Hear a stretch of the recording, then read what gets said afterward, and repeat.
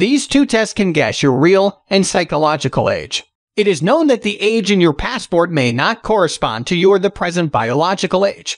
And it's not only in appearance but in the work of the various systems of the body. Biological age is the age of a person's body, not the number of years lived. Someone's body in 40 years functions as in 60 and another's body in 50 many function as in 35. There are usually significant differences in the rates of age-related changes among people with the same calendar age. Everything depends on a combination of factors such as genetics, work, bad habits, prevailing psycho-emotional background, diets, stress, lifestyle, and so on. The first test, with apparent simplicity, will show quite acceptable results because it is based on wide population studies and on the principles of multidimensional mathematical statistics. This made it possible to reduce the many signs of aging to a few generalized estimates. The test is successfully used in medicine, physiology, and psychology. The aging rate of women is below the aging rate of men. In addition, there are significant physiological differences, so the calculation methodology and input parameters for men and women are somewhat different. The second test is not intended for children and adolescents, and the most accurate estimate is given for the age category over 30.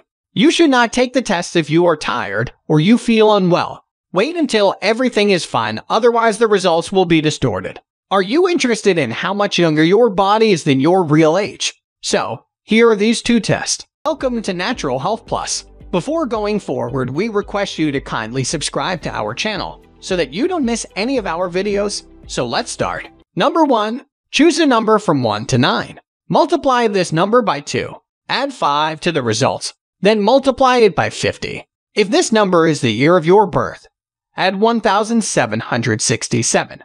If not, add 1,766. Take away the year of your birthday from the result. You will get a number of three figures.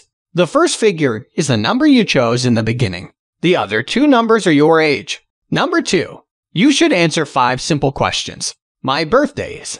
Number one, something to ignore. Number two, a time when the family gets together. Number three, time to party. What do you think about your president's age? Number one, too young. Number two, doesn't matter. His work is much more important. Number three, too old. Which TV shows do you watch? Number one, documentaries. Number two, TV dramas. Number three, reality shows. What are your hobbies? Number one, playing cards and sand knitting. Number two, cooking, running, and yoga. Number three, parties and, and sports. If you liked the video, give it a thumbs up. And please share this with your friends and family. And let us know what you think in the comments section below. For more recipes and tips, subscribe to the channel. Thanks for watching. Before leaving us, kindly check out our These Cool videos. Goodbye.